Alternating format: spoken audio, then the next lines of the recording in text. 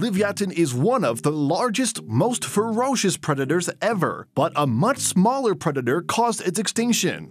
Livyatan had a 10 foot long skull and terrifying jaw with the largest teeth of any known animal. The whale could interlock its teeth to keep prey from escaping and bite large chunks of it with its 1 foot long teeth. Livyatan would have needed to eat hundreds of pounds of food by hunting smaller whales, seals, and dolphins. They started dying off nearly 5 million years ago when water cooling reduced the population of their prey. Some researchers believe that they went extinct because of the increase in the population of killer whales. They weren't prey to the much smaller killer whales, but they lost because killer whales were much better at hunting, so they didn't have enough food